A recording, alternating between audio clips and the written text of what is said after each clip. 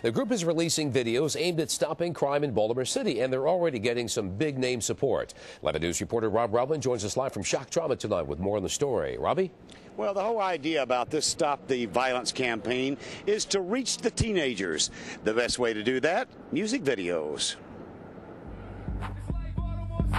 It's a campaign to try and stop the violence in Baltimore City. I don't necessarily feel safe in my neighborhood. Most time if I go outside, I'm on my front steps with my brothers and sisters. At night, I don't go outside by myself.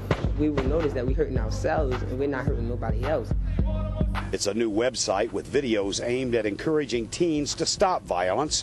One of the videos was shot here at Cristo Rey Jesuit High School, and many of the students here took part in the videos. I think this video is going to like send out the message to stop the violence, like send out this more positive stuff you can do with your life. I think this video is going to help stop the violence in Baltimore City and get people to realize that violence is not the way. I think that things will change.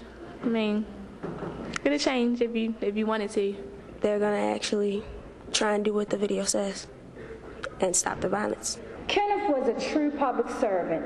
Today's anti violence rally at the school was dedicated to Councilman Ken Harris, who was shot and killed on September the 20th. I'm encouraging you today to take the torch of my husband and to make a difference not only in your life but in the lives of others.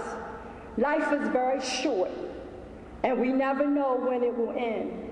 But we can make the best of our lives while we are living. The hip hop rapper DK Wayne Watts stars in the music videos. Um, I definitely think this video is going to spread the word out to um, the young folks in Baltimore City to encourage them to get with the Stop the Violence campaign, and I think it will spread on YouTube and MySpace and the ringtones and basically getting a positive message out there through hip hop.